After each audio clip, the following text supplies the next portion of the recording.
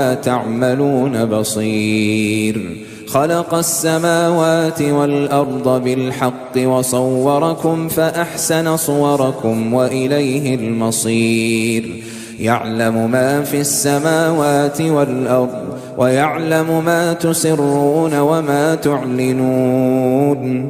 والله عليم بذات الصدور. ألم يأتكم نبأ الذين كفروا من قبل فذاقوا وبال أمرهم ولهم عذاب أليم.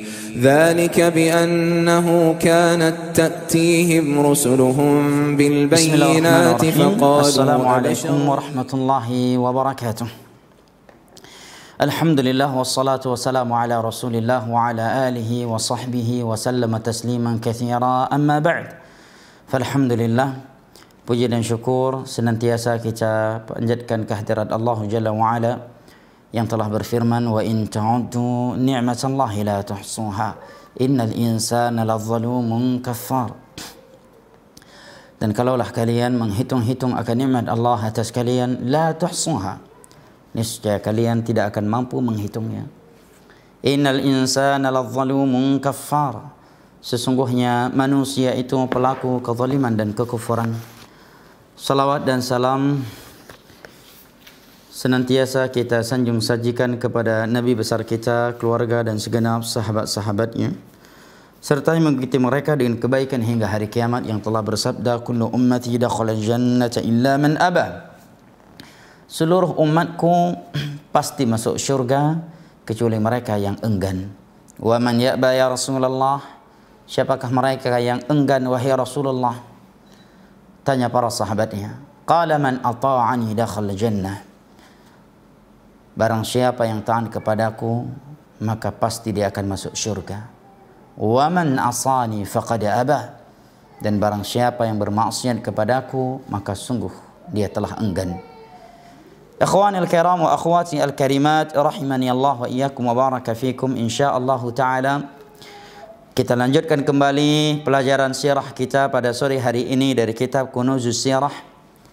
Setelah sebelumnya pada pertemuan yang lalu kita membaca tentang wafatnya ibunda kita istri daripada Rasulullah sallallahu alaihi wasallam Khadijah radhiyallahu anha dan beberapa pelajaran indah yang dapat dipetik di balik itu. Maka insyaallah taala pada kesempatan kali ini kita akan membaca bab yang berjudul Ad-Da'watu fi Taif. Dakwah Nabi sallallahu alaihi wasallam di Taif. Semoga dengan kita mempelajari dan mengkaji sirahnya Rasulullah sallallahu alaihi wasallam membuat kita semakin cinta kepada beliau, semakin merindukan beliau dan semakin merealisasikan firman Allah Jalla wa Ala laqad kana lakum fi rasulillahi uswatun hasanah. Sungguh telah ada suri teladan yang baik untuk kalian pada diri Rasulullah sallallahu alaihi wasallam. Liman kana yarju Allah wal yawmal akhir wa dzakara Allah katsira bagi siapa saja yang mengharapkan pertemuan dengan Allah mengharapkan kehidupan akhirat dan banyak mengingat Allah Jalla wa Ala. Kata penulis وبعد وفاة أبي طالب ووفاة خديجة رضي الله عنها خرج النبي صلى الله عليه وسلم من مكة إلى الطائف setelah Nabi sallallahu alaihi setelah wafatnya Abu Talib dan Khadijah istri Nabi kita sallallahu alaihi wasallam ibundanya kaum muslimin maka Nabi sallallahu alaihi wasallam keluar ke, dari Mekah ke Taif Tujuannya yad'u ila Allah tabaraka wa ta'ala. Mengajak manusia kembali kepada Allah Jalla wa ala. Memurnikan ketauhidan, ketergantungan hati mereka kepada Allah. Khurujnya Nabi dari Mekah ke Taif yang jaraknya kurang lebih 80 kilo dari Mekah. Nabi sallallahu alaihi wasallam keluar ke Taif untuk berdakwah, mengajak manusia kepada Allah bukan kepada tarikat-tarikat tertentu. Bukan untuk memperbanyak suara partai tertentu. Memperkuatkan partai, memperkuatkan organisasi atau kepada tarikat maula ini dan maula itu. Ilallah. Beliau keluar khuruj berdakwah mengajak manusia kembali kepada Allah. Maka di akhir surat Yusuf Allah Jalla wa Ala berfirman qul hadhihi sabili ad'u ila Allah ala basiratin ana wa man ittaba'ani subhanallahi wa ma ana minal musyrikin katakanlah inilah jalanku apa jalannya beliau ad'u ila Allah aku mengajak manusia kembali kepada Allah Barang siapa yang mengaku cinta kepada Rasulullah, meneladani Rasulullah dan mengikuti jalan beliau, maka buktinya adalah dia menyeru manusia kepada Allah. Mengajak manusia kepada tauhid, bukan mengajak manusia untuk memenangkan politikus ini, politikus itu di periode ini dan periode itu. Bukan untuk memperkuatkan organisasinya, bukan pula mengajak manusia untuk mengikuti tarekat-tarekat tertentu ad'u ila Allah aku mengajak kepada Allah. Ala basirah di atas ilmu. Bukan di atas semangat belaka karena dia public figure baru taubat dia seorang preman terkenal artis yang terkenal ya seorang anak pang yang terkenal kemudian dia hijrah kemudian dia ajak khuruf menjadi pendakwah walaupun belum pernah belajar akidah yang benar belum pernah belajar fikih yang benar. Hanya modal semangat khurus ya sekian hari nanti sepuluh hari sekian puluh hari lagi kemudian sekian bulan la ala basirah di atas ilmu agama ana wa man ittaba'ani inilah jalanku dan orang-orang yang mengikutiku wa ma ana minal musyrikin dan aku bukanlah dari para pelaku kesyirikan فالنبي صلى الله عليه وسلم ظل تلك السنوات العاشر في مكة يدعو إلى الله تبارك وتعالى Nabi SAW selama 10 tahun kurang lebih berada di Mekah selalu siang dan malam berdakwah mengajak manusia kembali kepada Allah. Thumma ra'a sallallahu alaihi wasallam an yakhruja min makkah wa yabda'a bid-da'wati kharijaha. Kemudian Nabi sallallahu alaihi wasallam mulai memandang melihat untuk keluar dari Mekah dan memulai berdakwah di luar Mekah fa awwalu ma fakkara sallallahu alaihi wasallam bil taif maka tempat yang pertama kali Nabi sallallahu alaihi wasallam pikirkan untuk berdakwah di luar Makkah adalah Taif fa kharaja mashyan ala qadamaihi wa ma'ahu Zaid bin Harithah maulahu wa khadimuh maka Nabi sallallahu alaihi wasallam pun keluar berjalan kaki dan ikut menemani beliau adalah Zaid bin Harithah budak sahaya beliau dan pembantu beliau. Berjalan kaki. Perjalanan 80 kilo. Karena itu yang Nabi sallallahu alaihi wasallam mampu. Bukan dalam rangka menyusahkan dirinya sendiri. Seperti yang dilakukan oleh sebagian orang. Memiliki kemudahan memiliki kendaraan. Sepeda motor atau mobil. Dia mampu sering mandi mampu sering sikat gigi, dia mampu memakai pakaian yang bagus, yang wangi, yang harum, tetapi sengaja dia membuat dirinya kumuh, gembel. Sengaja memilih jalan kaki, enggak mau naik motor, enggak mau naik sepeda, enggak mau naik mobil. Ini namanya memberat-beratkan diri untuk sesuatu dengan sesuatu yang tidak Allah perintahkan. Allah Jalla wa'ala berfirman di akhir surat Sad, قل لا أسألكم من أجر وما أنا من المتكلفين katakanlah wahai Muhammad prinsip engkau dalam berdakwah la as'alukum min ajrin wa ma ana minal mutakallifin qul la as'alukum aku tidak meminta upah dalam berdakwah saya mau berdakwah kontraknya sekian transfer sekian kalau enggak saya enggak mau dakwah ini bukan dakwah ya Nabi itu dakwahnya artis Wa ma ana minal mutakallifin dan katakan kepada mereka, aku bukanlah orang dari orang-orang yang suka memberat-beratkan diri. Halakal mutanatti'un, halakal mutanatti'un, halakal mutanatti'un. Sabda Nabi sallallahu alaihi wasallam. Celaka orang-orang yang ekstrim, celaka orang-orang yang ekstrim dan celaka orang-orang yang ekstrim.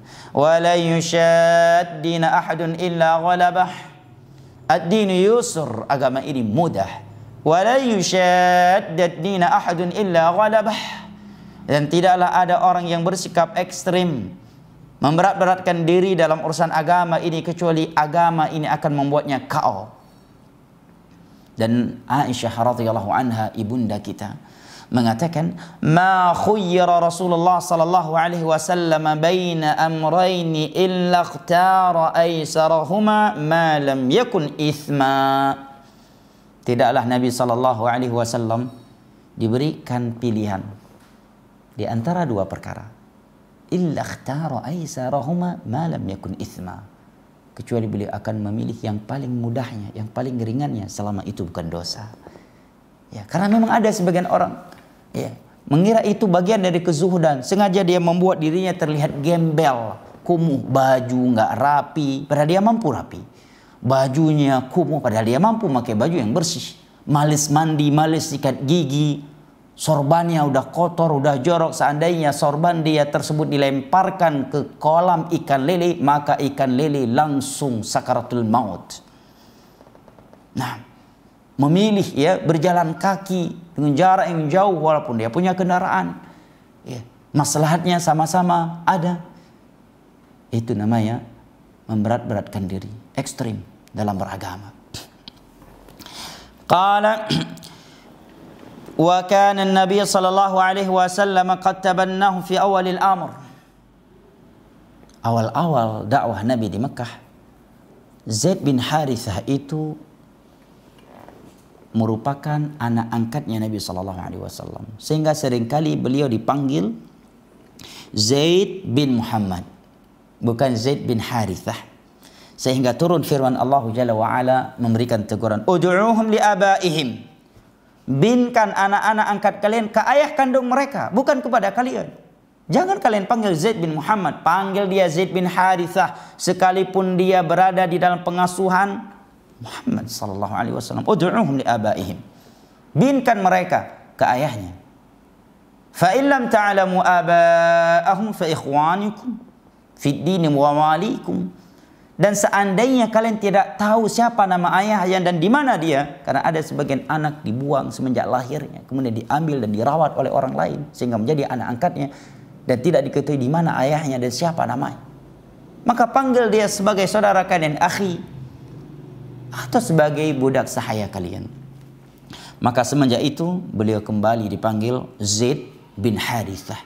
Tidak lagi dibinkan kepada Nabi kita sallallahu alaihi wasallam Zaid bin Muhammad. قال ولما وصل النبي صلى الله عليه وسلم إلى الطائف يعمد إلى ثلاثة إخوة من رؤساء ثقيف Begitu Nabi sallallahu alaihi wasallam tiba di Taif, maka Nabi sallallahu alaihi wasallam langsung mendatangi tiga laki-laki dari tokoh kabilah Thaqif yang besar di Taif saat itu yaitu kabilah Abdu Yalil wa Mas'ud dan Habib.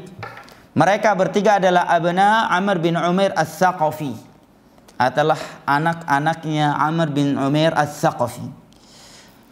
Tiga tokoh Arab yang ada di Taif Dua da'ahum ila Allah wa ila nusrati dini. Nabi pun mulai mengajak mereka untuk mentauhidkan Allah. Meninggalkan segala bentuk kesyirikan kepada Allah Jalla wa ala. Mengajak mereka untuk memurnikan ketergantungan hati mereka kepada Allah. Jangan lagi mengkeramatkan kuburan-kuburan. Mengkeramat-keramatkan kuburan. Jangan lagi mengkeramat-keramatkan pepohonan. Jangan lagi mengadu nasib dengan burung, dengan ini dan itu.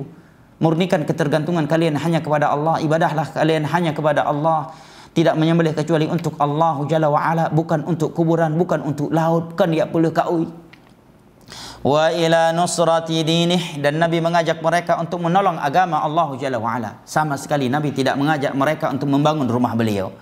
Sama sekali nabi tidak mengajak untuk eh, membangun partai untuk memilih beliau sebagai raja sebagai pemimpin Arab la wa ila nusrati dini. Nabi mengajak mereka kepada sesuatu yang menguntungkan dunia dan akhirat mereka. Mengajak mereka untuk mentauhidkan Allah dan menolong agama Allah. Faqala ahadum an nafsih maka salah satu di antara mereka berkata tentang Nabi sallallahu alaihi wasallam innahu yumazzaqu yumazziqu innahu innahu yumaz in, uh, Faqala ahadum an nafsi. Maka salah satu di antara mereka berkata, "Innahu yumazziqu thiyabal Ka'bah in kana Allah arsala Muhammadan sallallahu alaihi wasallam." Lihat bagaimana congkak dan bagaimana mereka betapa mereka merendahkan Nabi kita sallallahu alaihi wasallam. dan bagaimana mereka mendustakan beliau. Ia mengatakan seandainya Allah benar-benar telah menjadikan Muhammad sebagai Rasul maka aku akan merobek-robek bajunya Ka'bah. Kain Ka'bah. Ini sesuatu yang lancang. Karena orang Arab sebejat-bejatnya mereka, mereka sangat mengagungkan Ka'bah. Artinya mustahil. Kalau memang benar si Muhammad ini Rasul yang Allah utus, maka aku akan merobek-robek kainnya Ka'bah. Artinya dia enggak percaya Nabi kita sallallahu alaihi wasallam sebagai Rasul yang diutus oleh Allah. Yang satu yang lagi mengatakan kepada Nabi kita sallallahu alaihi wasallam, "Ama wajadallahu ahadan ghairak?" Apakah Allah tidak menemukan orang lain yang bisa ia utus selain engkau? Lihat betapa mereka merendah dan menghinakan Nabi kita sallallahu alaihi wasallam. Wa qala tsalits dan yang ketiga dari mereka mengatakan wallah la ukallimuka abadan in kunta rasulah demi Allah aku tidak akan mau berbicara dengan kamu abadan sama sekali selama-lamanya in kunta rasulah apabila engkau memang seorang rasul aku tidak akan mau berbicara denganmu. Abadan sama sekali. La anta a'zamu khataran min an arudda alaihi alaika kalam karena engkau adalah orang yang paling berbahaya untuk aku ajak bicara. Wala in kunta takdzibu ala Allah ma yanbaghi an ukallimak dan seandainya engkau telah berdusta atas nama Allah maka sungguh tidak pantas aku berbicara dengan engkau kata Syekh hakadha amala haula'i thalathatu nabiy sallallahu alaihi wasallam bitilkal qaswah wa dhalikal istihza demikianlah tiga orang ini memperlakukan Nabi kita sallallahu alaihi wasallam dengan kekerasan dan penghinaan itu. Wa huwa qad kharaja min baladi wa dakhala ila baladin huwa gharibun fiha yad'u ila Allah tabaraka wa ta'ala.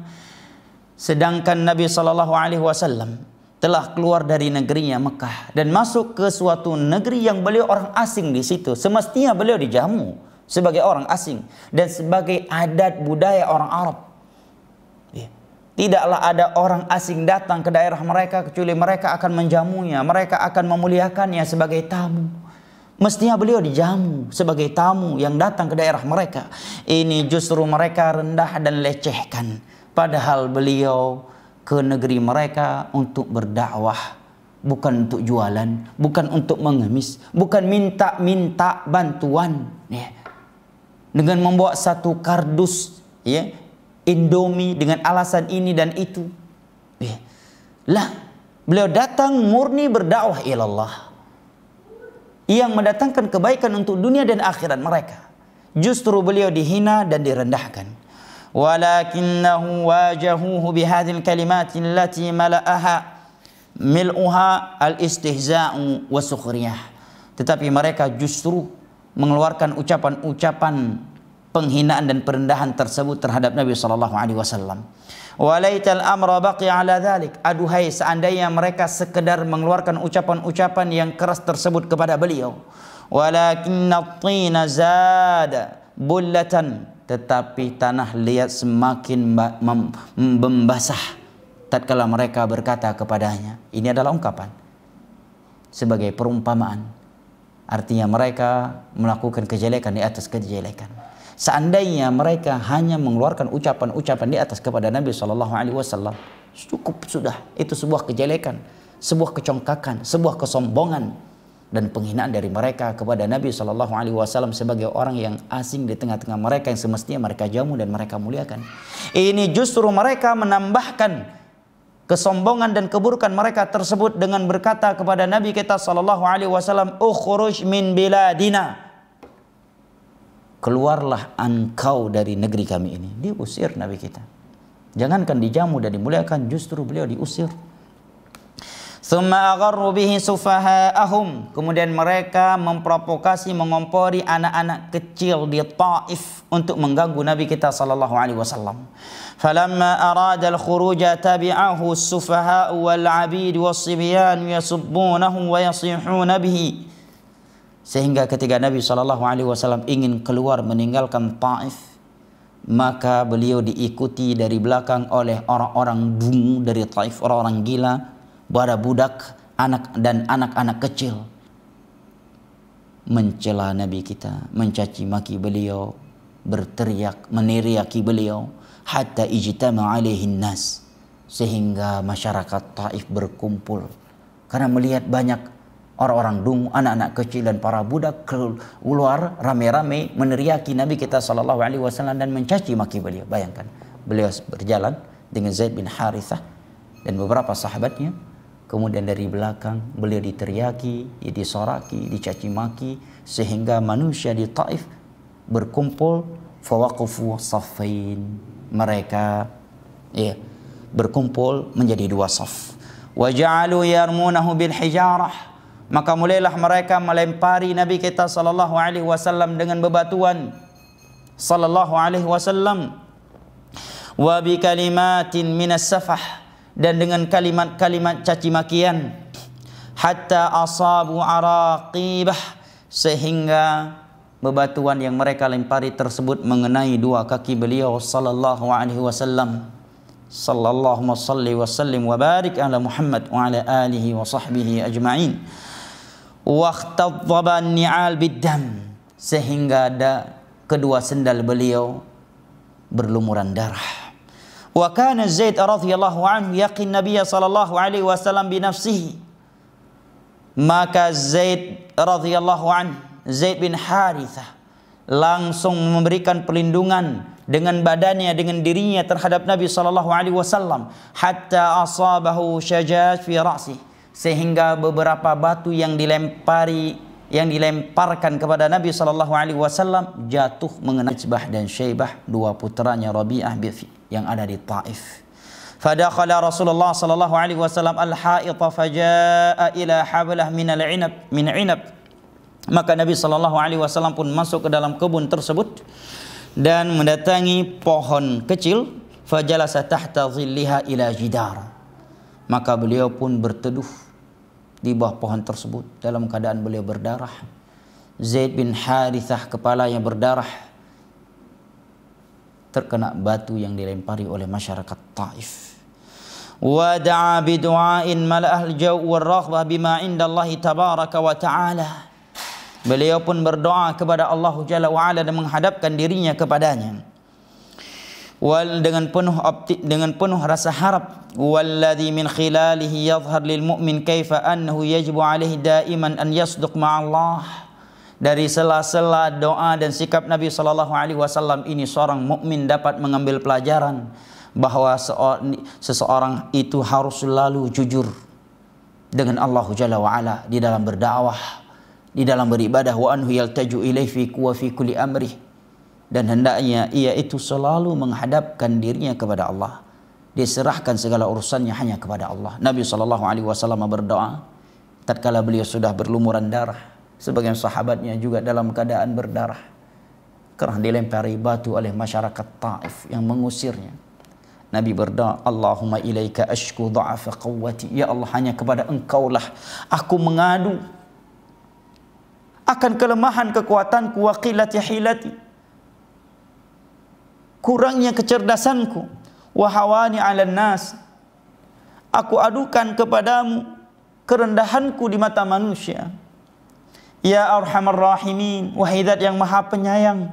Anta Rabbul Mustadhafin wa anta Rabbi. Engkau adalah Tuhan hamba-hamba yang lemah Dan engkau adalah Rabbku. Engkaulah yang menciptaku. Engkaulah yang mengaturku. Ila man takiluni kepada siapakah engkau menyerahkan diriku? Ila ba'idin yatajahimuni kepada orang yang jauh. Orang jauh selain kerabatku yang bersikap keras terhadap diriku am ila aduwin malaktahu amri ataukah engkau menyerahkan diriku kepada musuh yang engkau kuasakan dia terhadap perkaraku? In lam yakun bika alayya ghadabun fala ubali. Selama engkau tidak murka kepadaku maka aku tidak akan pernah peduli terhadap sikap manusia walakin afiyataka hiya awsa'uli akan tetapi keselamatan engkau untukku itu lebih luas. A'udzu bi nuri wajhika alladhi asyraqat lahu lahu dhalamat. Aku memohon perlindungan kepadamu dengan cahaya wajahmu yang telah menerangi seluruh kegelapan wasalluha alaihi amrud dunya wal akhirah an tunaz an tunazzila bi ghadabak dan dengannya perkara dunia dan akhirat menjadi baik aku meminta aku memohon kepadamu min an tunazzila bi ghadabak. Aku memohon perlindungan dari kemurkaan yang engkau turunkan karena aku. Au yahilla alayya sukhtuk. Aku memohon perlindungan kepadamu dari kemurkaan engkau yang menimpa diriku. Lakal ujba hatta tarda sehingga engkau ridha dan cinta kepadaku wala haula wala quwata illa bik dan tiada daya dan kekuatan kecuali dengan engkau lihat jemaah Nabi sallallahu alaihi wasallam mengajari kita untuk selalu kembali kepada Allah. Untuk selalu memuji Allah. Untuk selalu bertawakal kepada Allah dan untuk selalu bersikap jujur dengan Allah Jalla wa'ala. Bagaimanapun keadaan kita. Beliau dalam keadaan berlumuran darah dengan beberapa sahabatnya. Karena diusir, dipukuli dan dilempari batu oleh masyarakat Taif. Dan beliau sedang berdakwah. Beliau tidak lantas mencela Allah. Beliau tidak lantas menyalahkan ya Allah, menyalahkan Allah dan tidak pula membuat beliau mendoakan azab terhadap masyarakat Taif. Yang ada adalah justru beliau menyerahkan dirinya hanya kepada Allah, memuji Allah, merendahkan dirinya di hadapan Allah dan menyerahkan segala urusannya hanya kepada Allah. Allahu akbar. Demikian pula Yunus alaihi salam tatkala beliau jatuh ke dalam laut diterkam oleh ikan yang sangat besar faltaqamul hut diterkam oleh seekor ikan yang sangat besar sehingga beliau bertahun-tahun berada di dalam kegelapan laut plus dalam kegelapan di dalam perut ikan. Bersama dengan itu beliau tidak menyalahkan Allah. Beliau tidak mencela Allah. Justru beliau memuji Allah Jalla wa ala justru mengatakan La ilaha illa anta subhanak. Inni kuntu minal zalimin Tiada sesembahan yang berhak diibadahi kecuali engkau wahai Rabbku Subhanak maha suci engkau Inni kuntu minal zalimin Aku adalah hambamu yang penuh dosa Demikian pula Nabi kita sallallahu alaihi wasallam dalam keadaan berdarah, berlumuran darah karena dilempari dengan batu oleh masyarakat Taif. Terkala beliau mendakwahi mereka, kepada tauhid, memperingatkan mereka dari bahaya syirik. Beliau berteduh di bawah sebuah pohon, berdoa kepada Allah. Di dalam doa beliau tersebut, beliau memuji Allah. Beliau memohon perlindungan kepada Allah. Dan beliau menyalahkan serta merendahkan dirinya. Demikianlah seorang mukmin yang jujur dengan Allah Jalla wa'ala. قال فلما رآه ابن ربيع عتبة وشيبة تحركت له الرحم وذلك أنهما من ولد عبد الشمس بن عبد مناف tatkala Itbah dan Syaibah melihat kondisi Nabi sallallahu alaihi wasallam dan berkata demikian mereka mulai hiba terhadap beliau mulai sayang mulai ya, emosional mereka bergerak untuk Nabi sallallahu alaihi wasallam karena memang ada hubungan rahim antara mereka berdua dengan Nabi sallallahu alaihi wasallam. Mereka adalah anaknya Abdul Syams bin Abdi Manaf bin Abdul Muttalib bin Abdi Manaf. Nah, masih sangat dekat persaudaraan antara mereka dengan Nabi kita sallallahu alaihi wasallam. Fada'u ghulaman lahuma. Maka mereka pun memanggil seorang budak mereka yang beragama Nasrani yuqal lahu Addas yang bernama Addas wa qala lahu Kemudian mereka berdua berkata, mereka sayang kepada Nabi, membantu Nabi, tetapi karena mereka benci kepada dakwah Nabi kita. Dan mereka nggak enakan dengan masyarakat Taif yang ada. Dan masyarakat lain yang membenci dan menolak dakwah Nabi Shallallahu Alaihi Wasallam sehingga mereka tidak mau membantu Nabi secara langsung. Bukan mereka yang lang, mereka yang membawa bantuan untuk Nabi sallallahu alaihi wasallam secara langsung tetapi mereka memerintahkan budak mereka Addas mengatakan kepadanya khudh qutfan atau qitafan min hadzal inab wadhhab bihi ila hadzal rajul. Tolong bawakan kurma afwan inab anggur-anggur ini kepada lelaki ini mereka tidak mengatakan kepada saudara kami ini kepada rasul ini. Karena memang mereka berdua musyrik. Menolak dakwah nabi mendustakan dakwah nabi. Hanya saja karena ada ikatan nasab dengan nabi sallallahu alaihi wasallam mereka hibah. Mereka masih masih ya, memiliki emosional untuk Nabi sallallahu alaihi wasallam. Falamma jaa Addas tatkala Addas datang wada'ahu baina yaday Nabi sallallahu alaihi wasallam famadda yadahu sallallahu alaihi wasallam wa qala bismillah thumma akal. Maka dia pun meletakkan anggur-anggur tersebut di depan Nabi sallallahu alaihi wasallam. Maka Nabi pun mengambilnya dan mengatakan bismillah. Kemudian Nabi sallallahu alaihi wasallam pun memakannya. Addas tatkala mendengar Nabi sallallahu alaihi wasallam mengatakan bismillah sebelum memakan anggur tersebut, dia mengatakan inna hadzal kalam ma yaquluhu ahlu hadhihi bilad. Kalimat yang engkau ucapkan tadi itu enggak pernah diucapkan oleh masyarakat di negeri ini. Maka Nabi sallallahu alaihi wasallam pun berkata kepada min ayyil biladi ant? Dari negeri mana kamu? Lihat kecerdasan Nabi kita sallallahu alaihi wasallam dalam mendakwahi anak muda. Wa madinuk dan apa agamamu? Tanya Nabi. Maka ia mengatakan Nasrani min ahli Nainawa. Aku Nasrani dari Nainawa. Maka Nabi sallallahu alaihi wasallam min qaryatir rajul salih Yunus bin Mata engkau berasal dari daerahnya laki yang saleh Yunus ibnu Mata maka budak Nasrani tersebut pun berkata wa ma yudrika ma Yunus bin Mata bagaimana engkau tahu dan mengenal Yunus bin Mata maka Rasulullah sallallahu alaihi wasallam menjawab dzaka akhi kana nabiyyan wa ana nabiy Karena dia adalah saudaraku, dia nabi dan aku seorang nabi. Wal anbiya ikhwah dan para nabi itu bersaudara. Fakab ba'das ala rasuli Rasulullah sallallahu alaihi wasallam wa yadihi wa rijlihi yuqabbiluhuma. Maka Addas pun mencium kepala, kedua kaki dan kedua tangan Nabi sallallahu alaihi wasallam. Setelah mendengar Nabi mengatakan aku adalah saudaranya, dia adalah seorang nabi dan aku seorang nabi. Maka dua anak dua anak laki-lakinya Rabi'ah salah satu di antara mereka berkata amma ghulamuk faqad afsadahu ar-rajul budakmu itu sudah dirusak ya sudah dirusak oleh Muhammad ya. begitu kata mereka kepada kepada Rabi'ah Naam kepada Rabi'ah budak kamu itu sudah rusak sudah sesat dibuat oleh seorang oleh lelaki tersebut yaitu Muhammad. Maka tatkala Addas pulang ke majikannya, kedua majikannya itu berkata kepadanya, "Waihak ma hadza? Celaka engkau waihak. Apa yang terjadi pada dirimu wahai Addas?"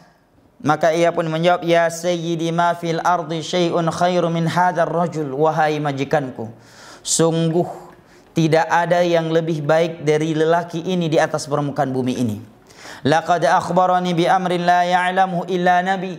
Sungguh ia telah memberitahukan kepadaku perkara-perkara yang tidak ada yang mengetahuinya kecuali seorang nabi.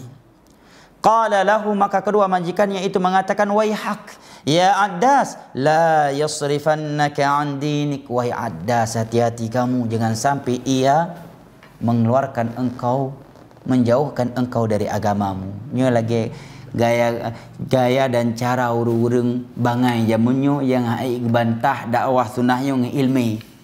Ha? Hai ke betupat le dengan ilmi. Kibang ya betupat ayat dengan hadis. Ucapan ulama salah kibang ya bantah, kibang ya betupat. Hana cara lain tinggal jurus terakhir. Hai, nyan nyan ustaz Wahabi be gadingo. Nyan awaknya tetat. Be sampai ro ke singa pungo ke gara-gara kajak but ngawayan. Du mana mai lewetnya kabih pungo kabih stres gara-gara ijak but bawa wahabi. Nyami kajak bu ngawah habian tinggal nah mama ruh mama ke ruh kapoh. Ya ya ruh kapoh. Lebih pengokah daripada orang tim ganja. Baik tengah-tengah kajak nyawa tetap kan. Baik sampai tinggal kakak petinggai agama nenek moyang yang kaputun telah mayu, yang kapubut mayu. Buddha nam, uh, adat istiadat yang selama ini engkau berada di atasnya. Nyan lagu-lagu zamannya. Mio betul-betul ulama, betul-betul orang yang berilmu, jujur dalam berdakwah, jujur mengajak manusia kembali kepada Allah, terangkan agama ini dengan dalil. Di mana anda tak sesatnya sampaikan mereka sesat karena akidah mereka demikian dan demikian dan ini bertentangan dengan Al-Quran. Allah berfirman demikian dan demikian. Mereka sesat karena mereka memiliki pemahaman yang demikian dan demikian dan pemahaman yang demikian itu sesat karena Nabi berkata demikian dan demikian, para sahabat berkata demikian. Gitu dong, ilmiah dong. Eh, jangan yang pandainya dusta dan memprovokasi. La yasrifannaka an dinik. Hai, hati-hati ro ke. Baik sampai ipengut ke. Baik sampai iputubit ro ke dari agama ro ke. Jangan sampai ia memalingkan engkau dari agamamu fa inna dinaka khairun lak karena agamamu lebih baik untukmu daripada agama yang dia bawa. Semua orang juga bisa berkata demikian. Agama kita lebih bagus, akidah kita lebih bagus. Budaya kita lebih lengkap. Kita ahli sunnati wal jamaah, kita aswaja, asli orang Jawa. Semua kita, semua orang, setiap individu bisa mengatakan aku berada di atas kebenaran. Orang lain sesat, aku ahlu sunnah yang lain wahabi. Semua orang juga bisa ngomong seperti itu. Kata penyair Arab, Kullun yadda'i waslan bi layla wa layla la tuqirru bi thalik. Semua mereka mengaku ada hubungan dengan Laila karena Laila adalah wanita yang cantik jelita. Semua mereka mengaku punya hubungan dengannya. Yang ini mengaku mantannya, yang itu mengaku calon, yang ini mengaku cewek, yang ini mengaku istri dan sebagainya. Wa Laila la tuqiru bidalik. Tetapi Laila tidak membenarkannya. Hari ini semua orang mengaku aswaja. Ahlus sunnati wal jamaah. Cinta Nabi, pengikut Imam Syafi'i. Tapi kalau anda jujur dan anda punya ilmu, buktikan. Hah? Buktikan. Apakah kifarat, kibaya kifarat solat nyan madhab syafi'i? Na dalam Al-Quran dan hadis na gepubut oleh para sahabat Nabi, para tabi'in, tabi'un, tabi'in dan petbah imam madhab. Na pernah gepurno kifarat salat? Na pernah dia pedang tender bak kuburan orang mati bertujuh hura bayi 10 juta. Yang kelamnya bawa lain nah 15 15 juta lagi kamu 10 juta mendang gajut. Dah hanya minta le boh mano setengah matang pi hanam salah mam yo tak lebih gat lom pelom nana rokok yang lebih semangat lom tabut ada kubu subhanallah demi Allah ini adalah pencuri-pencuri harta kaum muslimin dengan nama agama. Dum uri gampung payah yak mutang gara-gara kifarat salat. Payah yak mutang kena kedit tedu utang gara-gara bet atau kubu bayi 10 juta bahkan na yang 10 juta. Menang katruk na orang meninggal ci katruk yak pedang tender. Mendeh gejak yak sumano main, yak sumayang main. Jan hak seorang mukmin baik talake bayi, haknya seorang mukmin itu. Seorang mukmin yang telah meninggal itu wajib kita urusi mayatnya dengan kita mandikan, kita kafankan, kita solatkan dan kita antar jenazahnya. Bek dalam kepeng bak mayat. Ya tak geleng proyek bak kuburan mayat. Ni apa ya buat ada kubur yang anda tadi. Ngak berkah baca kuburan kan. Bek bagah langsung kita pertanyaan lima malaikat. Ija awak pesantren tak bodoh. Pada ilakai dia, kamu tujuh juta pergi kerja. Nyah nak payah minta ku pilih ni. Mana nak minta ku pilih, lebih jet lam, lebih gat lam. Ijak apa tu? Kamu lima juta je ti. Lima puluh juta, dua puluh per je mal kurah nak pernah mati. Kamu buat tapi. Dan itu fakta. Bahkan sebagian anggota keluarga bertengkar di antara mereka. Karena terduduk hutang untuk membayar orang-orang yang ngaji di atas kuburan. Sebagian tempat bayarannya 30 juta, 20 juta. Demi Allah, Ini merupakan memakan harta manusia dengan cara yang batil dan mengataskan nama agama Allah. Dan ini lebih jahat daripada koruptor. Koruptor ketika mereka korupsi nggak pernah mengatakan itu agama. Mengatasnamakan agama. Nggak bawa ayat, nggak bawa hadis. Ini mencuri harta kaum muslimin dengan bawa Al-Quran. Dengan menggunakan Al-Quran. Menggunakan hadis. Bet atau kubu. Kifarat solat. Bah mia betai na bet atau kubunya na orang meninggal gelakai bak ra ni tengku ngan santri ra ni bet ada kubu tujuh orang tujuh malam hana gebayu netem hana tem aten hana tem artinya kan kan agama karena peng ni bet ada kubu Jut nyana kifarat salat, juk ke keluarga ro mentang juk kan kemun pasti gak gak karui kampung hanjut, payah juk ke tengku. Be ada kubu, payah bayi. Acim hana bayi, mate hang ketim. Sungguh ya, sama dengan perbuatan sebagian ulama. Yahud. Allah mengatakan ya ayyuhalladzina amanu inna katsiran minal ahbari war ruhbani la ya'kuluna amwalan nas bil batil. Wahai orang-orang yang beriman banyak dari ulama-ulama Yahudi dan Nasara yang memakan harta rakyatnya dengan cara yang batil. Nah, agama ini jelas agama ini gamblang.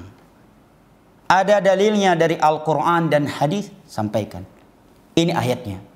Ini hadisnya. Dalam kitab Sahih Bukhari, Sahih Muslim, Sunan Abi Daud.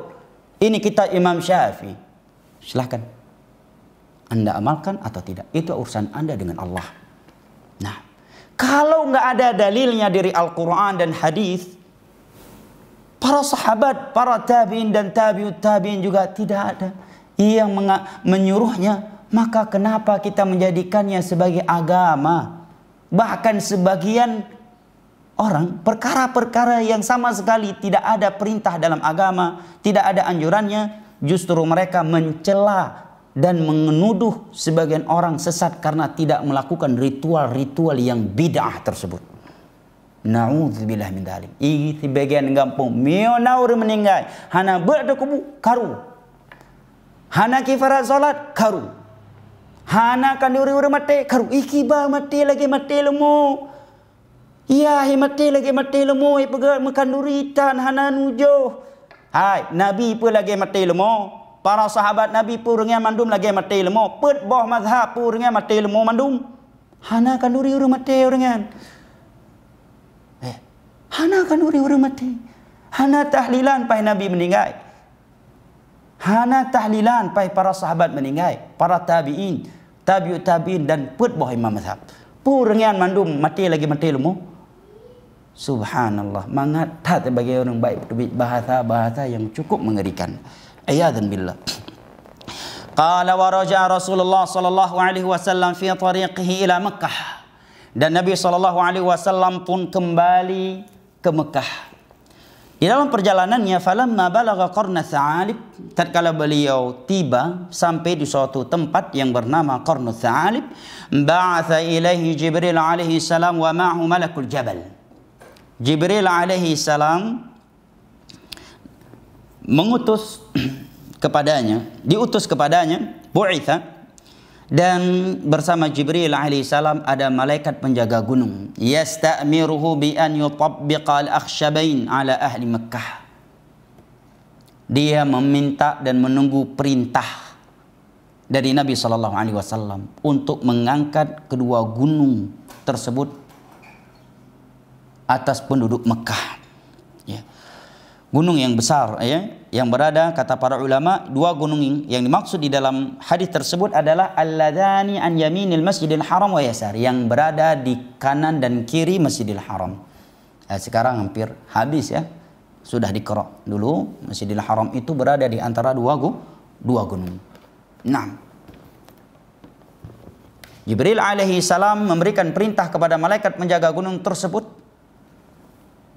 Minta kepada Muhammad. Tawarkan kepadanya.